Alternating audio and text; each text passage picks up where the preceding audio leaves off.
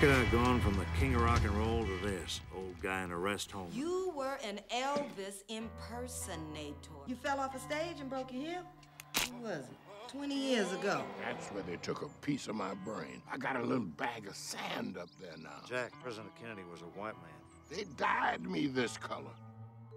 What we have here at Shady Rest is an Egyptian soul sucker of some sort. Some kind of Bubba Ho-Tep. You know, a mummy hiding out, feeding on the sleeping.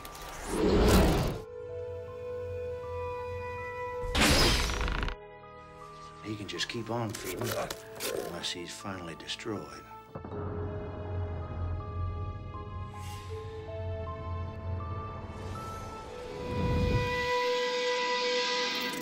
All right, man, let's go.